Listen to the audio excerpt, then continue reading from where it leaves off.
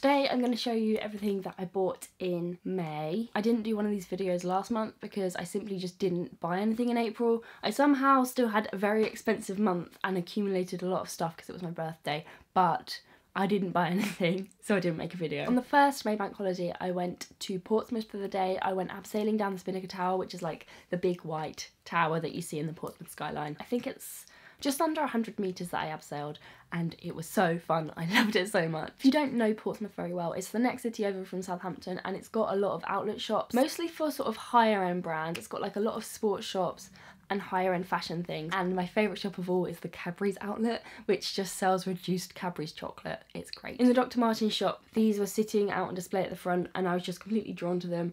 I think mostly because of the colour and also kind of the fact they look like the shoes I would wear when I was about five. I found out later on that they're actually from the kids range and they just go up to my size, which is a five. They're only £20 reduced from God knows how much because they're Dr. Martens shoes. I really like them, but I don't like them on me. I think they look really weird. I didn't bother trying them on in the shop, mostly because I was lazy and also because I know that I'm a size 5 in Doc Martens. They do fit me, but I think it's just the shape of my feet don't look right in these kinds of sandals. So I'm not sure whether I'm keeping them or not.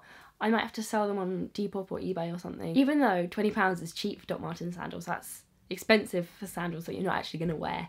So I'm not sure. When I went to pay, I saw all of the laces sitting on the side and they were only £3. It's a lot of money for long stripping material, but I always imagined that the like official Dr. Martens laces would be a lot more expensive than that. So I bought one I guess this is a pair. I hope this is a pair, not just one lace. To be honest, it doesn't matter if it's only one lace because I just need to relace one of my boots. On this boot, the plastic bit at the end of the lace, the aglet has come off. I don't know where it's gone. Tiddles may have eaten it. It's very likely. The lace is starting to fray and it just needs relacing and I've been putting it off for probably over two years. The only reason I know the word aglet is from watching Phineas and Ferb, so if anybody else also knows the word from there, not just me and my sister, then let me know. As I said, it was my birthday at the end of April, and if you've got a Paperchase card, then you get £5 credit to spend in store, so I got my £5 loaded onto my card, and I just wandered in and was trying to find something to spend this free £5 on. Nothing's really catching my eye in Paperchase at the moment. Normally, I cannot resist buying stuff that I don't need. Maybe I've just become boring in the fact that I've like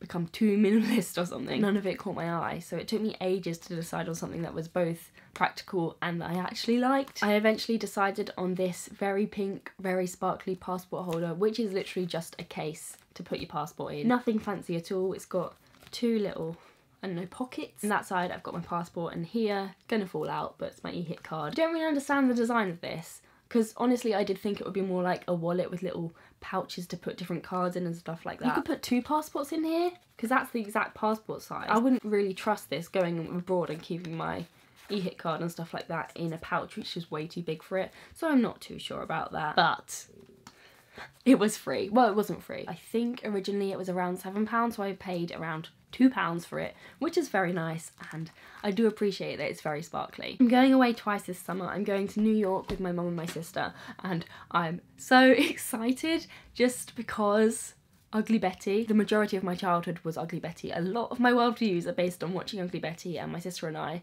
just, we love it so much. We were talking jokingly a while ago about going to New York just to go to Ugly Betty locations and then for my 21st birthday and her 18th birthday my mum bought us tickets and I cried a lot and yeah I'm just so excited like I don't know if you can see, you probably can't, but I just got goosebumps talking about it. I am that excited. And then after that, me and my sister are going away with my dad. We're going to Crete, and I don't think we've ever been abroad with him. I think actually we went once when my sister was literally a few weeks old, so I'm really excited for that. We're going for two whole weeks, and it's just like a proper beachy, relaxing, sunbathing and reading books holiday. After the last three years, I just need two weeks of lying on a beach and reading books. That sounds like absolute heaven. Even though the only purpose of this is just looking pretty and sparkly, I will actually get some use out of it this summer.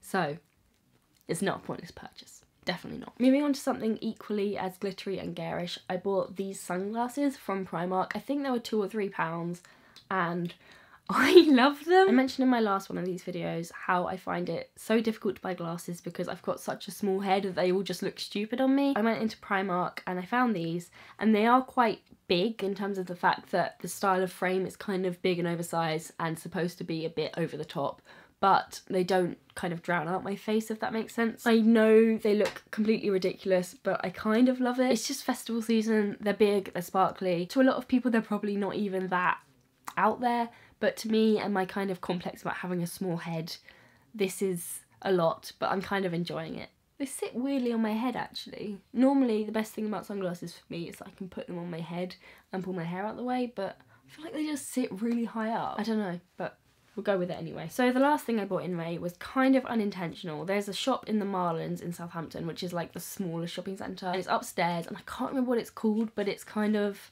like a market. It's got lots of different individual stalls within the shop. They have a lot of kind of more alternative people's things in there. So they've got a few different video game stores. They've got a comic book store. They've got one that sells secondhand vinyl.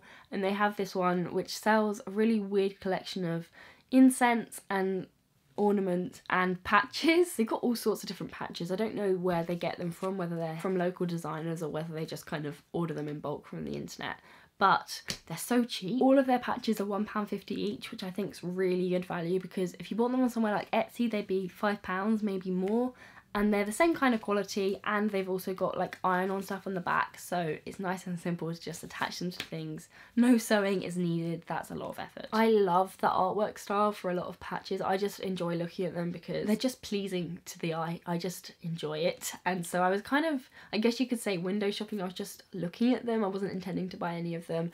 But jacob wanted to buy a patch and they had i think it was five pounds minimum card payment. So I had to help him out and choose a patch for myself. The ones I got were this one, which says Craving Wilderness, and it kind of reminded me of like USA national parks, which I really want to go visit. And then this one, which says Stoked on Life, it's got a little wave and a palm tree. And this one reminded me of Hawaii because I've got an obsession at the moment with learning to surf and going to Hawaii. I think one of them will probably end up going on a rucksack. I need a new one. My Kanken up there has got a hole in the bottom and it's on its way out so I'm probably just going to get a cheap unbranded one and then stick this in the middle where the logo would normally go. I think that would look really cute. I'm going to take these off now, but that is everything that I bought last month. I know there wasn't that much there, but I still think it was worth sharing with you. I hope you enjoyed the video. If you're from Southampton, actually, go check out the shop which sells all the patches because I think they're really cool. And yeah, I will see you very soon.